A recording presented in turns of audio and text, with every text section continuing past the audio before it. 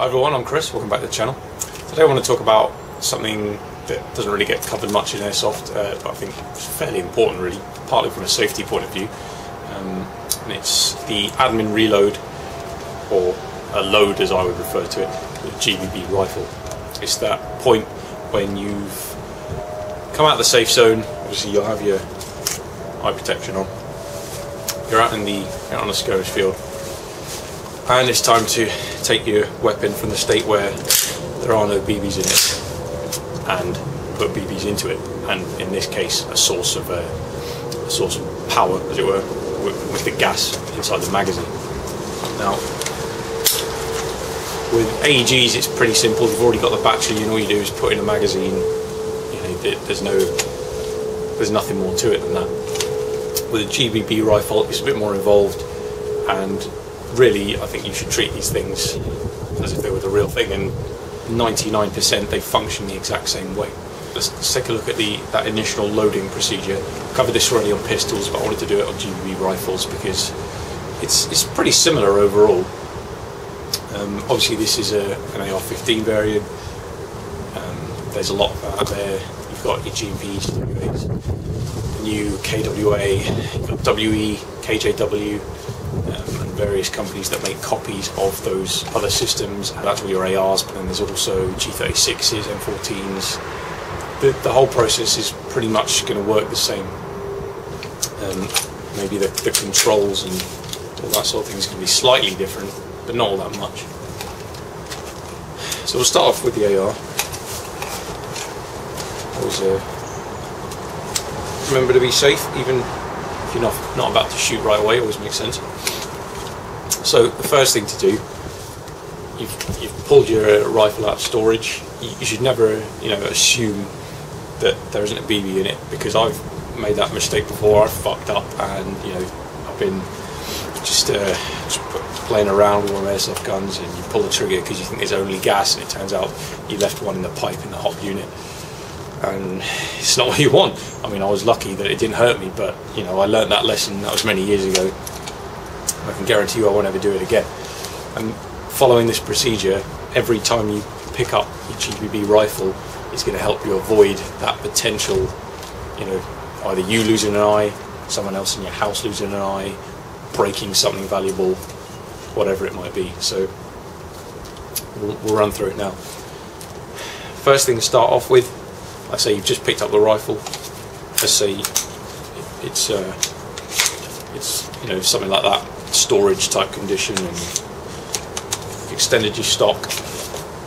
So what I would recommend first is a uh, to just lock your bolt to the rear, whichever weapon system you're using. It's going to be different on how you do that.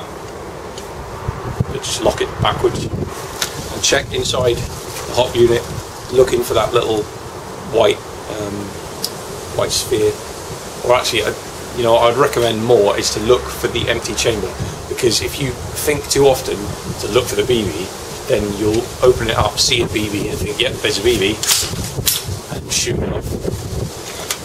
And that's what you don't want, especially if you've inserted a magazine for whatever reason. So, lock bolt to the rear, working parts as we call it, but anyway, bolt slot to the rear. Look for that empty hop unit. If you see white, you know you need to get a uh, cleaning on jamming rod down the end of the barrel there and get that BB out. So check this clear, bolt goes forward, practice shot, practice your sight alignment, sight picture, trigger control. Just that one extra little repetition always helps.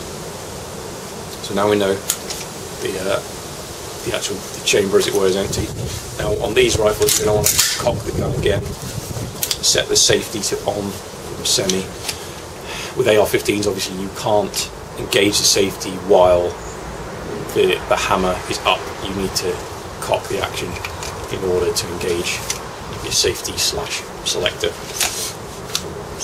So that's good to go.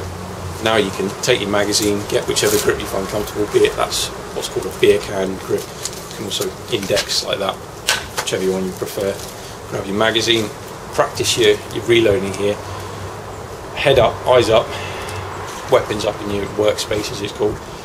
And you want you want to come up to the mag well, pause for a second, firm insert, maybe give it a slight pull, downwards, just a tiny bit of pressure in, in that direction, just to double check. Magazines in. At this point, obviously, making sure the rifle's in a safe direction. Now we're ready. Charging handle all the way back. Let it go. Don't ride it forward because what can happen. I'll, I'll demonstrate by taking the mag out a second, especially on, on these rifles. If you uh, if you ride the charging handle forward, like see how the, the bolt's not all the way in battery there, there's that gap. And this is because the latch on the charging handle will sit like that. It's not all the way. Me let that go and it bolt goes all the way forward again.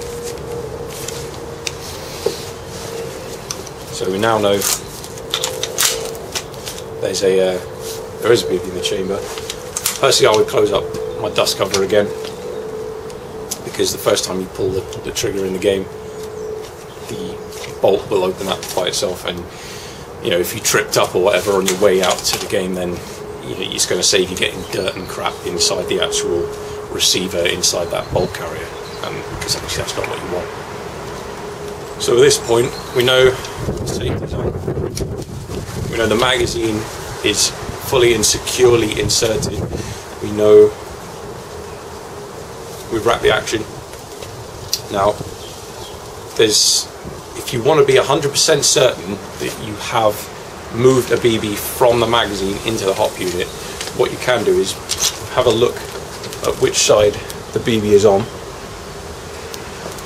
Now, I didn't mention this earlier, which I, I should have, I admit.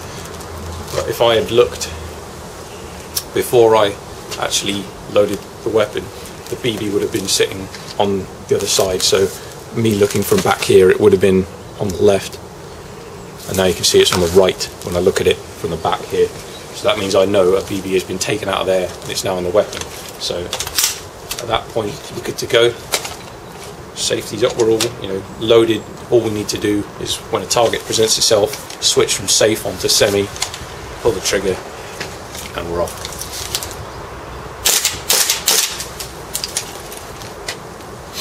Cheers for watching guys, I appreciate it. See you next time.